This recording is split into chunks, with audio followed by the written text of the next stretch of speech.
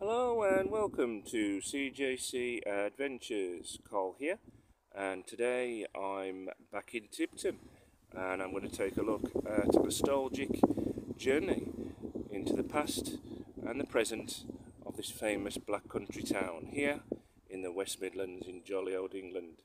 I'm going to take a look at Tipton's smallest housing estate, Little Burton, along with industry. And of course, Tipton produced a lot of industry over the years. And part of why they call it the Black Country is why Tipton produced so much smoke and it produced so much decay in the air, shall we say. It would be difficult to look at all that industry, but we're going to do our best. Because, let's face it, there was so much industry, wasn't there, in Tipton, from factories, foundries, and goods that were shipped not only in Great Britain but all over the world. So let's go and see what we can see.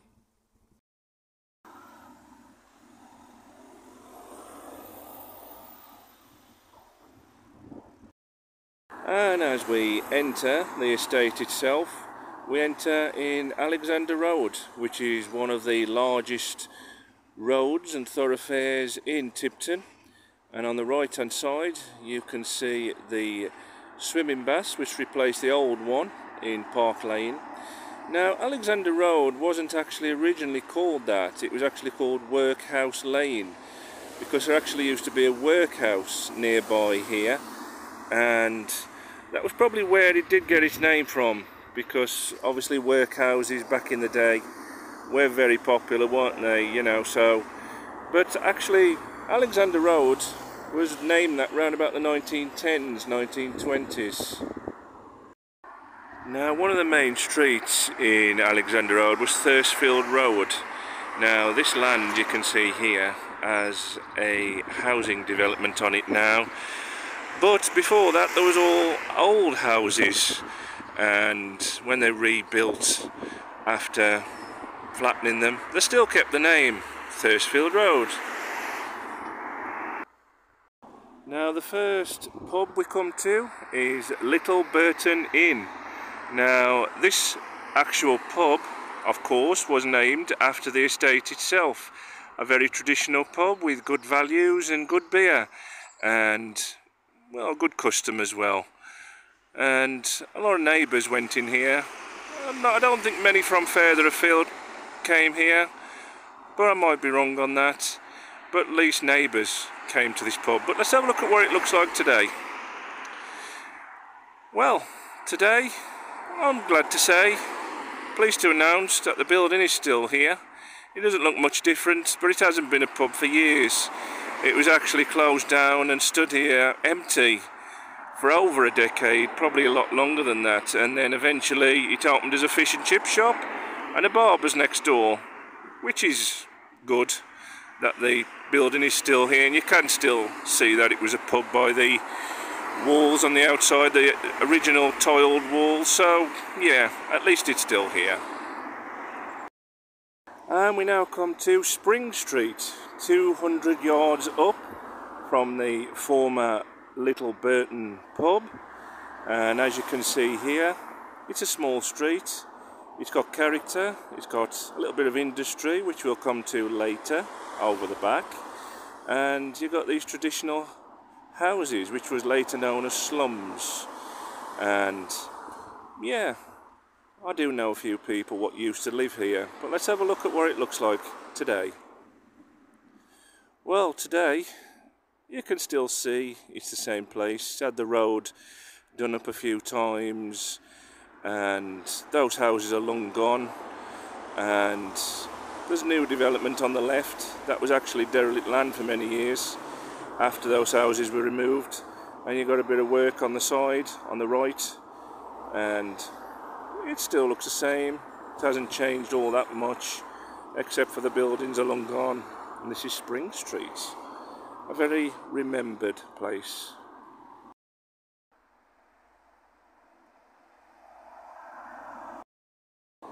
Now, one thing that stood out probably more than anything else in Tipton, especially at night, was the gasworks. Now, the gasworks lit up literally everywhere for miles. You know, you didn't need street lamps. It was like its own version of Blackpool with the lights beaming everywhere. It's like a space station in a lot of ways. But let's have a look at what it looks like today. Well, today it's long gone, really has. You know, I do remember when this went. It was a place where a lot of people worked, and as you can see, these actual gates are the original gates, and you can still see where it says Cadent, your gas network, and other signs. Those are some of the original signs as well. And apparently there's still gas under the grounds over there. But that is actually called Stambridge Park. And it's a big housing estate with many houses. But it's good that these, these gates are actually still here. The actual drive is original as well.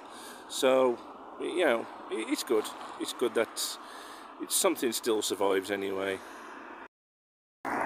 We now come to the Cottage Spring, the second pub on the Burton estate, otherwise known as the Monkey House, because the, well, why it was called the Monkey House, a lot of people probably don't know these days, it's because the actual owner, or one of the owners, had a monkey in a cage in the window, so it stuck after that it was called the Monkey House.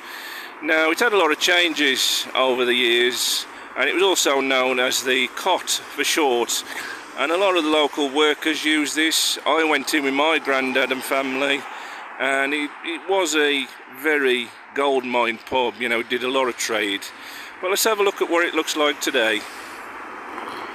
Well, sadly, the Cottage Spring, or the Cot, or the Monkey House, whichever name you want to put to it, has actually now gone when a lot of the works closed around here, it did seem to struggle. It did try to survive for a while.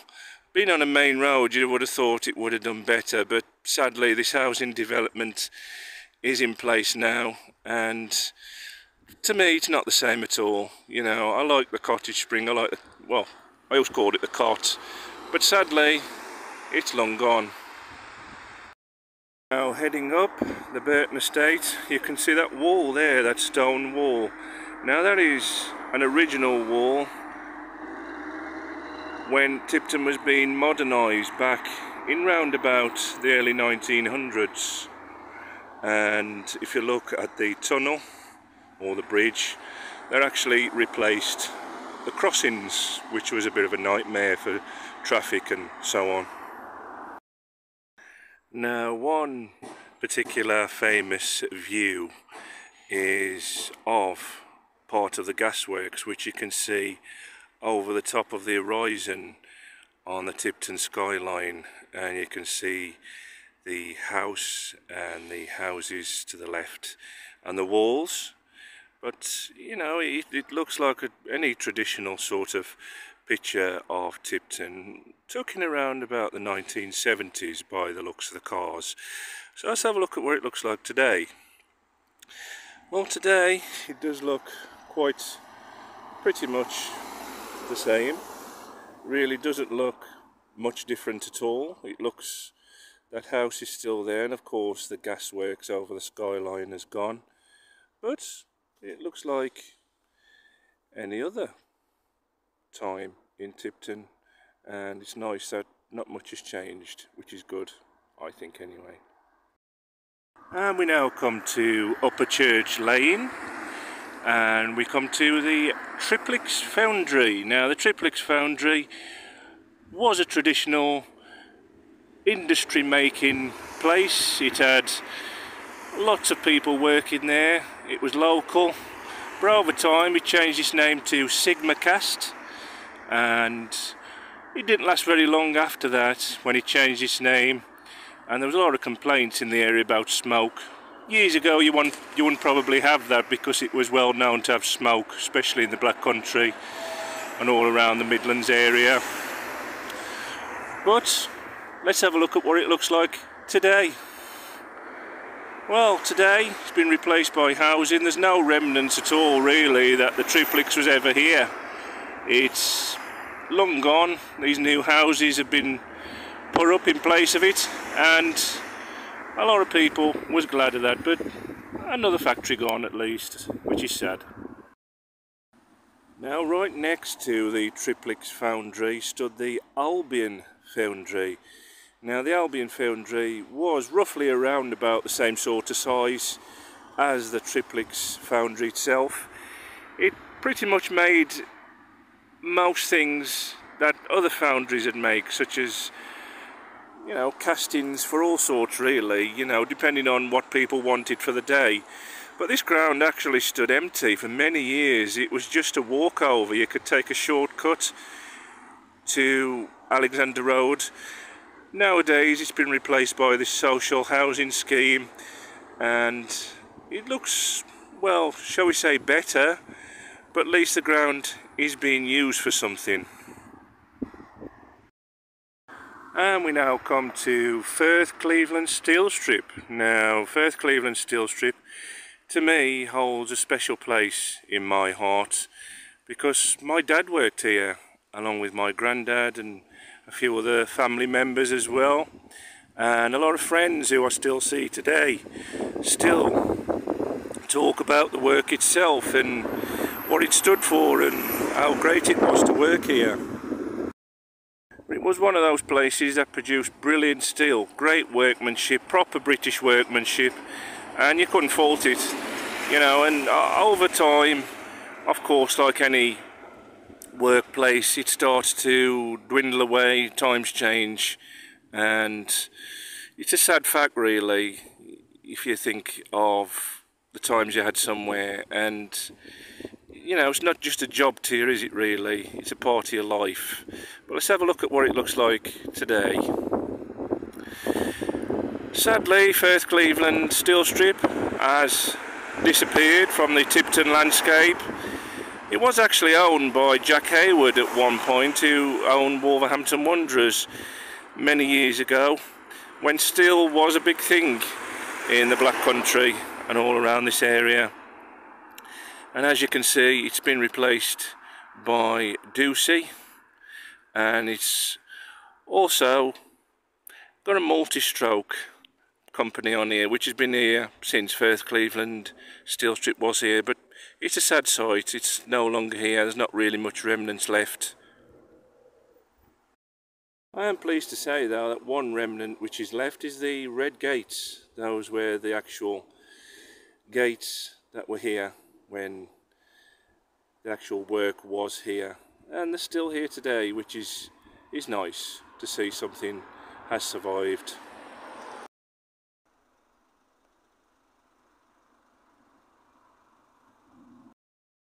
Now another foundry in the town near the train station in Tipton was Lee Howell and they used to make pumps. They were a foundry and they were very traditional. They had a lot of traditional ways of, of making what they made but they were very well known in the area and let's have a look at what it looks like today. It looks very different. They got St Paul's School is there now. That actually was moved from Wood Street in Tipton to here. And there's also an allotment over there as well. And there's a lot of bad ground over there because of the actual foundry what was there Lee Howell. But this is what it looks like today and no remnants it has changed quite a bit actually. And we have now come to Chatwin's Foundry. Now Chatwin's Foundry was a very small place it was near the canal and it was just off Albion Street and Owen Street and a nice little place to work my dad actually worked here and he says it was good times and it had lots of traditional working values. Of course, foundries are very dirty places, and the ones that do survive today, and the people that worked in them will tell you that. Well, let's have a look at what it looks like today. Well, today it's nice to know that they've actually kept the name of some sorts, Chatwin's Wharf, which of course named after the Chatwin foundry itself.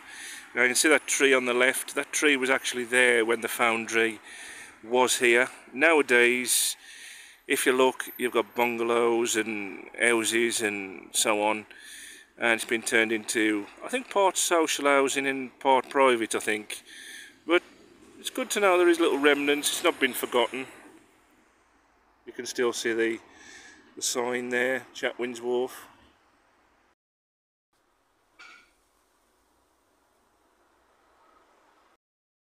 Now one particular workplace, foundry, one of the most iconic foundries in Tipton was Buller's. Now Buller's wasn't a massive place, it just had a bit of a reputation for probably pumping out the most smoke out of any foundry in the town and it's situated just off Factory Road. Now there was a saying what went round Tipton.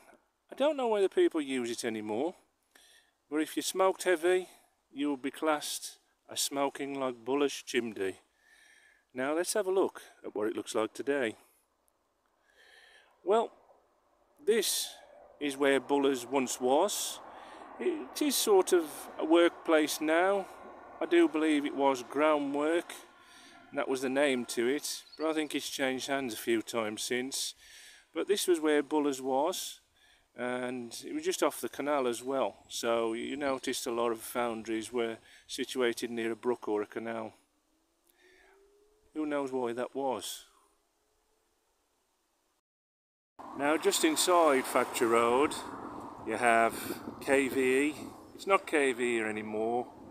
It's MRJ Willis Fish Limited. But this was the old KVE factory and you can actually see it on there. Now KV made good scratchings, if you like scratchings. Some people says the one weren't very nice, but I didn't mind them.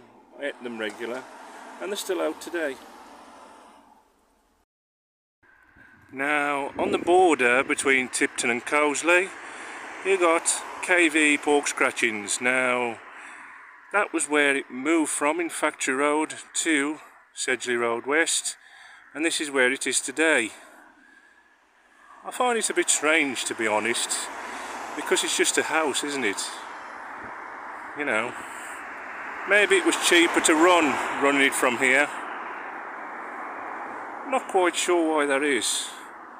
As you can see the sign Tasty KV pork scratchings this way. Oh, making me feel hungry. Now also in Sedgley Road West we have Neweys. Now Neweys was situated just behind that building. And my mum actually worked there for quite a few years. And it was a very good place to work for by all accounts. I know a few people what worked there. And the building that you can see just there I do believe is a listed building. So let's have a look at what it looks like today? Well, today the building's still there, Neweys, which was at the back, a pin making sensational factory, which I thought was a very nice place to work for when I was told by my mum and other people. are sadly gone, it doesn't exist anymore, but this building is still here as a remnant to those wonderful working times.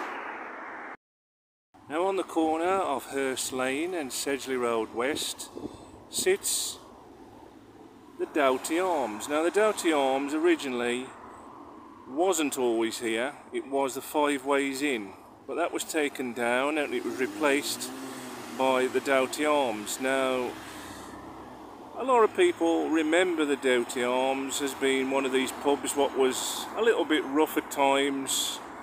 And then over time it became you know so bad that they had to do something. But let's have a look at what it looks like today well here on the five ways I'm pleased to announce that it's no longer the Doughty Arms it's of course Mad O'Rourke's world famous pie factory. Yes the pie factory known worldwide for having the cow pie with the pastry horns in if you like. And it does make you feel hungry when you stand here because you can actually smell the cooking. As I'm standing here you can really smell the ovens on and it smells delicious. Now I've been in here quite a few times. It's a very traditional pub and it does have live music as well. And it does have a lot of traditional ways still and people flock here from all around and sometimes all over the world to see this famous landmark. And I'm glad that it survived I'm glad that it's a famous landmark as it is because here on the Five Ways it really is a standout piece isn't it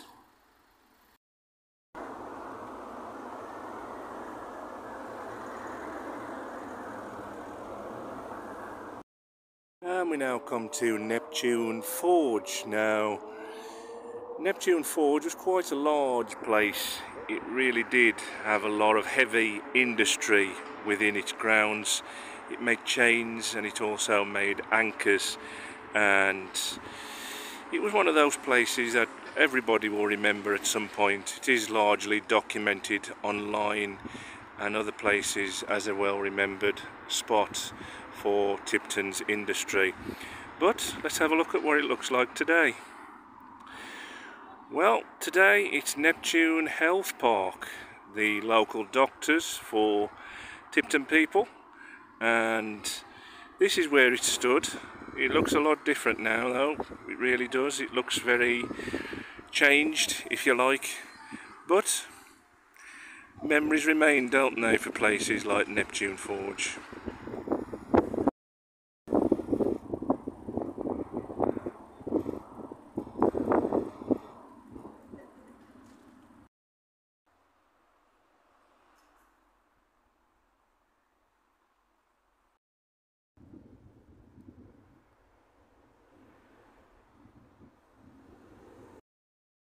And we now come to the Bean Foundry, a very large building and very dominant in around the Tipton area.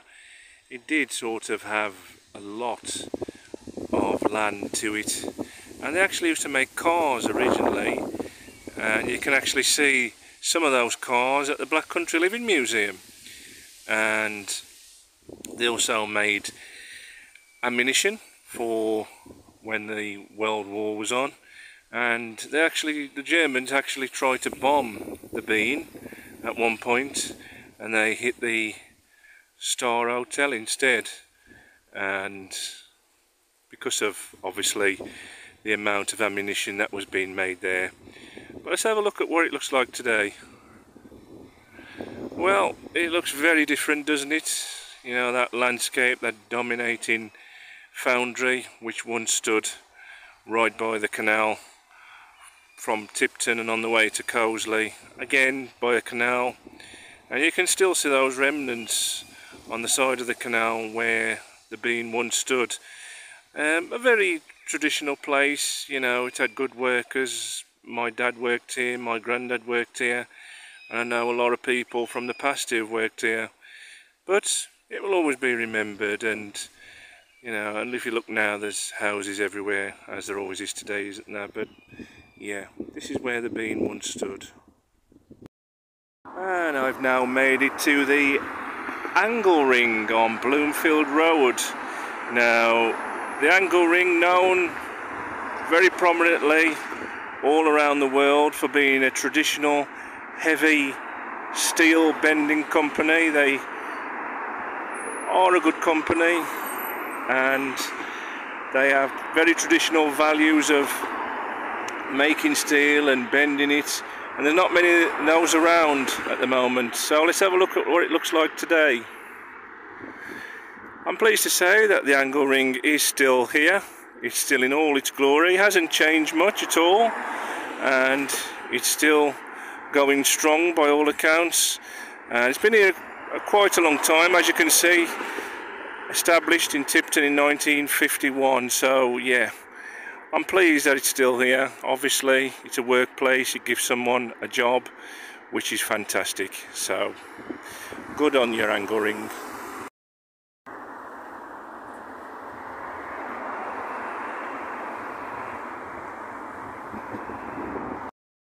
Now for those of you who are big soap fans and you like your TV, you'll know EastEnders. On British soap set in London. And you'll know the actor Steve McFadden. Now Steve McFadden of course plays Phil Mitchell, plays the hard man. Well he actually came here a few years ago to the Angle Ring for a part for his boat I do believe if I'm right on that. And he was a very nice person, very nice guy. Very uh, you know down to earth, nothing like his character. Uh, I actually met him myself back in I believe it was 96, 97 he was in Shipley's Amusements in Dudley town centre. And very very nice person very down to earth. And he came here to the angle ring and yeah it's hard to believe isn't it? Phil Mitchell came to Tipton. Now right opposite the angle ring stood the Brymill a factory a large factory and mostly steel and that type of industry and if you look round, you know, you can actually see the shape of it, where you see that now. Um, I mean, if you look at it here, I mean, it looks pretty, you know, a big industrial site, because that's what it was.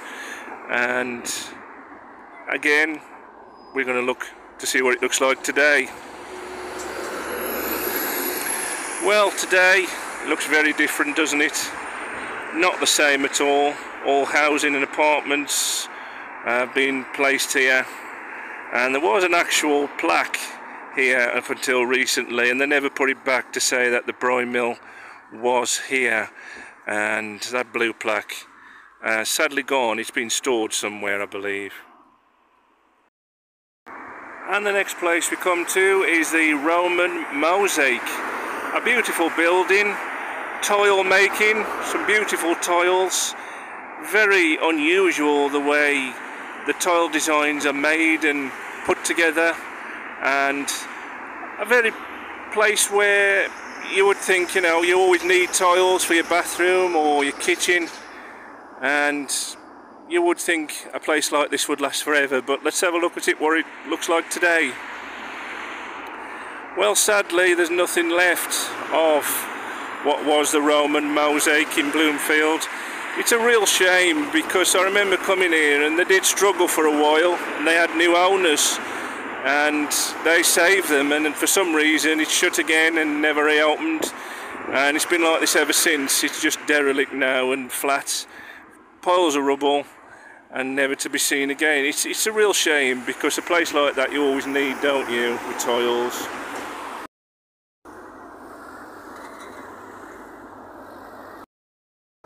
And we're now back in Bradley's Lane. We've been here before, of course, when we covered the Talbot. But there's one building that I really would like to see, if it's still here. So let's go and have a look. Two doors down from the former Talbot pub, we come to the Great Western pub. A very traditional looking pub, very nicely built, put together well, traditional signage and it's a pub that, for me, I don't remember. I know a lot of people remember it. Now it's actually got its name from the Great Western Railway, which was situated just here on the Tipton and Coseley border. But let's have a look at what it looks like today. Well, today it's just a yard, sadly. It's nothing more than a yard, actually. That building that you can see just there, what says Metal Mickey's, that is actually the same building from when the pub was next to it. And, well, it's just a yard, as I say today, but it's sad, isn't it? You know, because one minute it was here, and the next minute it was gone, and nobody knows why, really. I don't know if anybody did know why it was knocked down.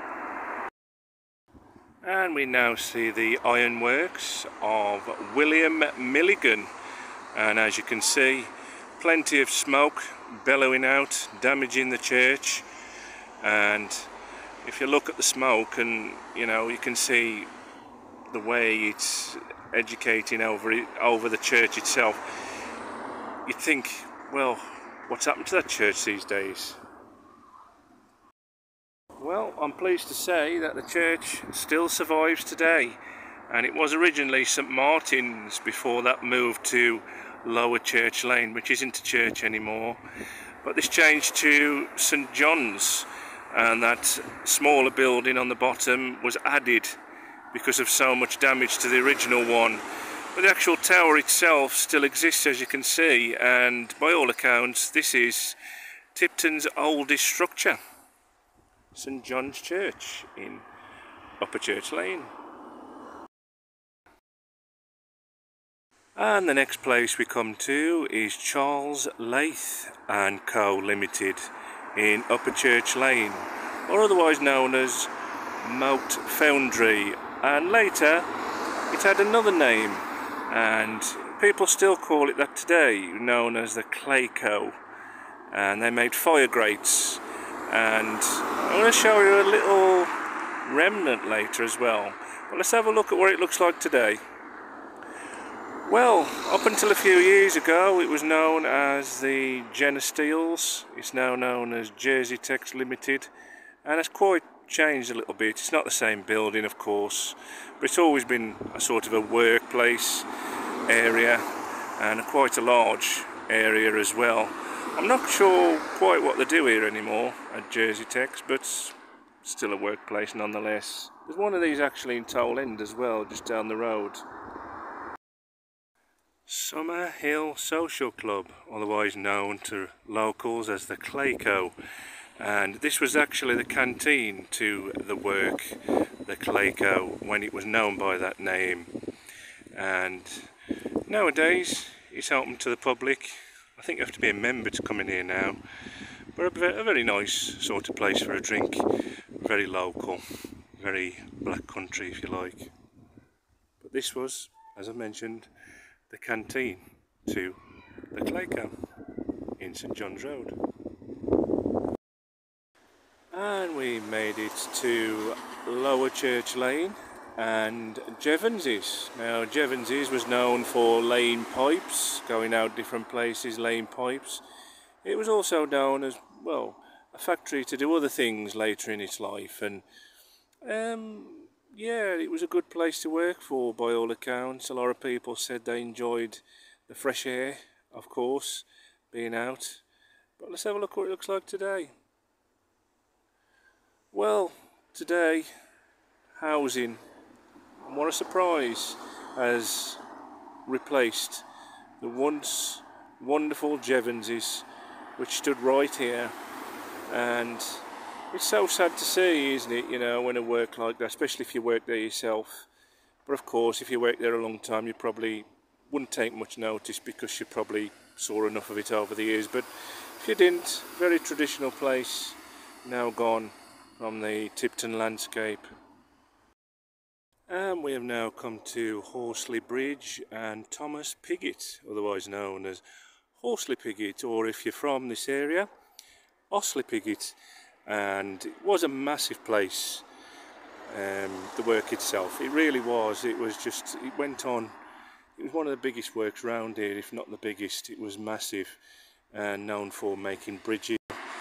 And if you got a job there you would find you know it would be very hard going very hard work and but a very proper hard working place let's have a look at what it looks like today here on the way to Horseley Pigott or Osley Pigott. Well, this is what replaced it, and you know, it's sad, really. Really, it really is. It's um, you know, you know, saying the place covered a, a, big area, it went all the way to like Great Bridge towards Dudley Port. It was, you know, a giant of a place, and just to see it replaced with houses is is sad, really. But times change, don't they? And it's just the way of the world, of course. I don't know what actually happened to that. It just closed. Maybe it had its day, who knows? But yeah, good memories remain, I suppose. And that's it for today on CJC Adventures. Hope you've enjoyed the history of Little Burton Estate and, of course, the industry of Tipton. So much industry to cover, isn't there, with Tipton? There isn't much left now, but back in the day, of course, it was literally rife. There were factories and foundries side by side, probably, some say more than houses. And if you enjoyed this video, please give it a thumbs up and please subscribe. Click on the subscribe icon and the bell and you'll be notified when each video is uploaded. And please share. Thank you very much for watching, I really do appreciate it and until next time look after yourselves and each other and goodbye for now